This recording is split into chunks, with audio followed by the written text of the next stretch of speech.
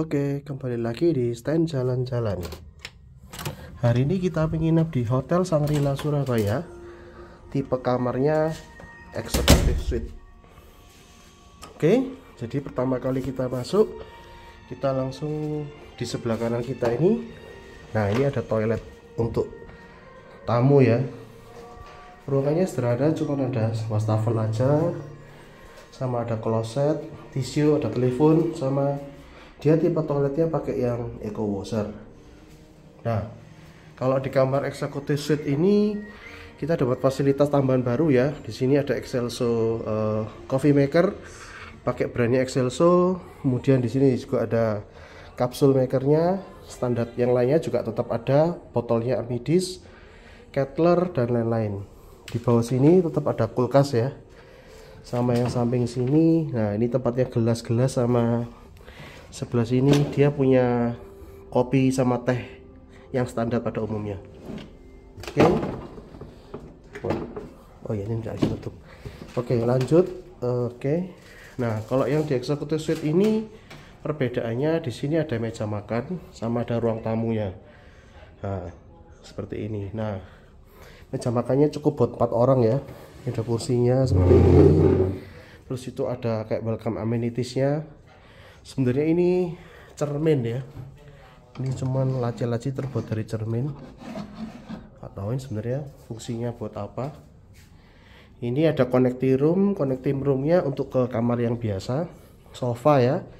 Sofa biasa ada meja ada lampu. Kemudian ada TV juga di sini. Nah kerennya Sangrila ini loh. Hal-hal seperti ini nih keren menurut saya ya. Dia punya detail yang tempat penyimpanannya unik seperti ini. Oke next. Ini bawahnya ini cuma laci-lacian aja. Nggak ada yang anu nggak ada yang spesial kosong.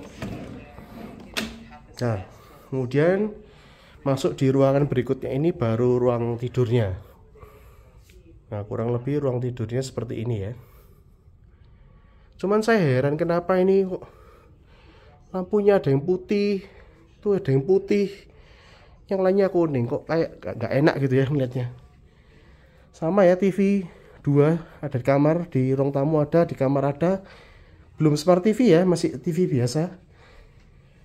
Kalau Sangrila selalu tipe samping keranjangnya selalu yang satu ini ada teleponnya sama ada lampu sampingnya. Yang sebelah sana lampunya selalu berbeda.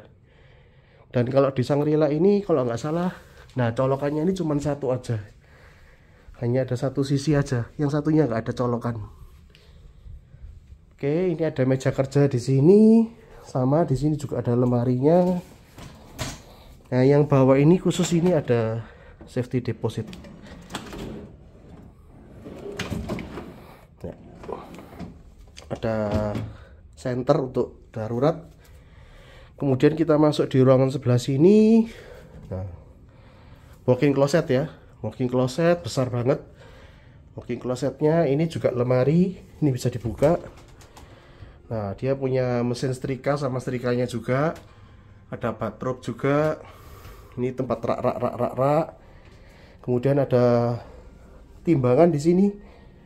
Ada hangernya jas. Ada kimono juga.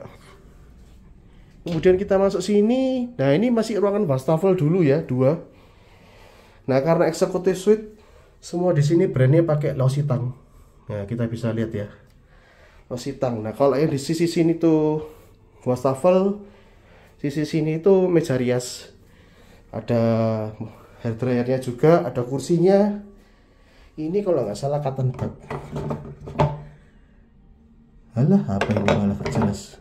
Nah ini harusnya cotton bud. Nah, ya, masuk lagi sebelah sini. Toiletnya sudah ada batapnya ya. Batapnya yang biasa, tipikal yang di bawah, tanam. Kemudian di sini rain shower. Area shower sudah pakai rain shower. Plus sudah ada tempat duduknya juga. Terus ini toiletnya di sebelah sini, eco washer juga. Dan di sini ada raknya untuk anduk. Kemudian, nah ini ya karena di executive suite ya, dia selalu berani semua pakai lositan ya seperti ini oke kurang lebih kurang lebih seperti ini ruangannya. Sampai ketemu di stand jalan-jalan. Oh ya ini kamarnya satu harinya 2,5 juta ya. Jadi kira-kira worth it apa enggak menurut kalian? 2,5 juta per malam. Oke sampai ketemu di stand jalan-jalan berikutnya. Thank you